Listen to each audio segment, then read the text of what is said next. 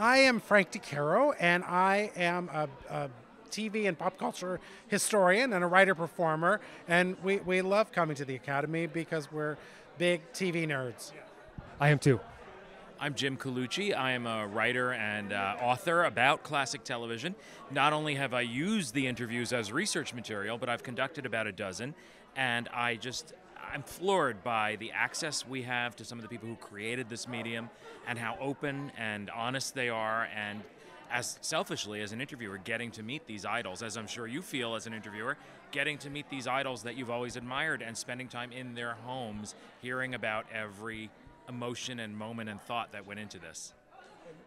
I interviewed as i said a dozen people and they all were great in their own way but the one that really floored me is sitting at her kitchen table getting served lemonade by Agent 99 herself, Barbara Feldon, my childhood crush, and here she is talking about all of the ins and outs of Get Smart and the loveliest person. And that's one of those, you know, sometimes they say never meet your idols, and sometimes that's true because sometimes they disappoint. She did not disappoint, and so many of them do not disappoint.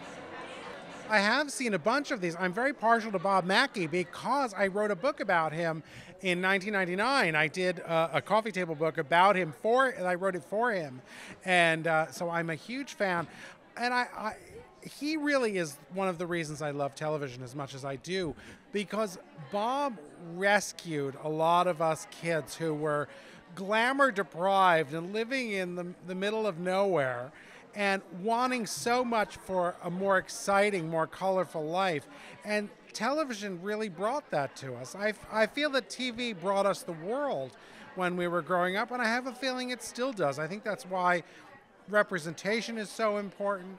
Seeing people like yourself on television and seeing people who are completely different than yourself on television, because it's not only can be a mirror, but it also has a to window. be a window. And and so if you have television doing both, which I think it does. And, and honestly, we're living through a time where there is so much brilliant content, um, and we're very lucky for all of that. But it also reminds me that we've got to preserve our icons while we've still got them in our midst. And, and even if we don't, learn from them, seek out their history and the history of the medium.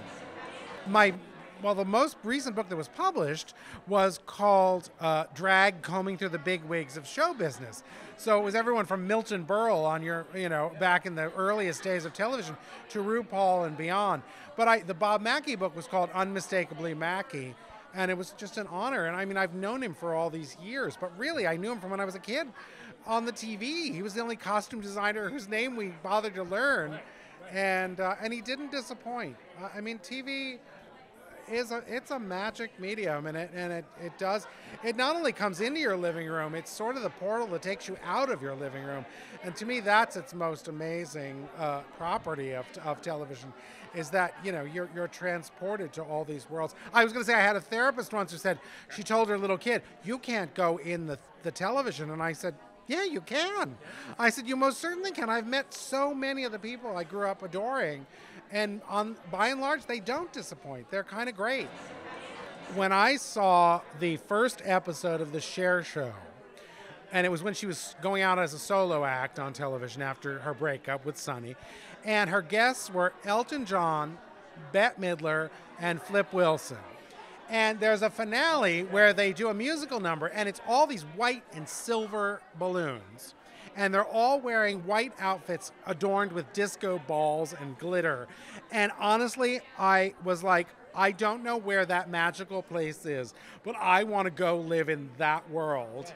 And um, and I'm lucky because I kind of have gotten to do that. So, although I still don't have a white suit with disco balls all over it, but I wish I did. Instead of getting paid for that Bob Mackie book, I should have bought, got outfits. What was I thinking? I could have had Elton John's duck costume hanging in my closet. Yes. Who was yours? The moment where you're like, I'm going to do that. Well, apparently I was delusional from an early age because I would say the electric company because I would watch the, the phonics lessons they would have, and I'd be like, I, well, I can read that, and I can yell, hey, you guys, really loud. So uh, apparently I can do this. I apparently didn't realize there would be other requirements and uh, barriers to entry. But Electric Company, when I was a year old, Morgan Freeman and Rita Moreno, and amazing people. TV has so shaped our lives and kind of given us the work that we do. We write a lot of pop culture books. We have nine between the two of us, although we don't write together. But that TV is really, uh, you know, I mean, college was great, but TV was the genuine education, I think. Yeah, I, I don't know why more people haven't expressed it this way. Maybe it's because they have a better rounded life than I had as a child, but it shows you the rest of the world other than the little piece that you know. And I would learn so much from watching even just sitcoms where obviously the comedy and the humor is manipulated, but some of the humanity was real. I look at all the Norman Lear shows and how he delved into humanity and you'd see other types of people you didn't know, whether they didn't look like you, maybe they were a different socioeconomic class, and get the idea that, oh, what I know is not everything, and I should be more open to it. And that TV would bring it into your living room if you were willing to receive it. And so I just, I just learned so much from it. And then 30 some years later, you wrote a book with Norman Lear. With Norman Lear. Norman Lear, yeah. Yeah. So. We went and sat on his patio and went through his archives and boxes, and it was it was just like I can't believe I'm doing this. And I thought of my therapist and said, "See, you can go into the television." ha ha ha!